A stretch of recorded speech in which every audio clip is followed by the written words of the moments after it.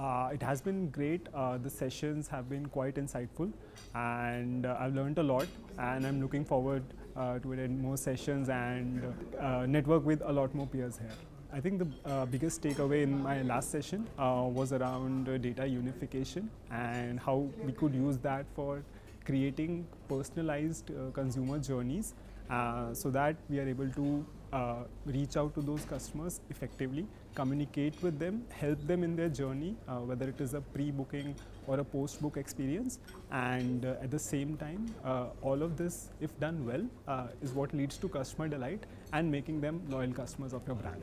So uh, I think for most organizations, buy is the right uh, way to go uh, because uh, the whole Martech ecosystem, right, uh, it's changing and evolving at a very rapid pace. Uh, now, if you spend time and your resources in just building stuff on your own, uh, and that's not something which is the core of your business, right? Uh, those resources are better deployed to improve your core business uh, versus spending time to building marketing automation suites or softwares, right? And plus, at the pace at which it evolves, you'll need to have a dedicated team just to keep uh, improving and updating because there is GDPR, there is privacy requirements that are coming. Uh, Google will give an update. Uh, you will have a lot of changes uh, throughout.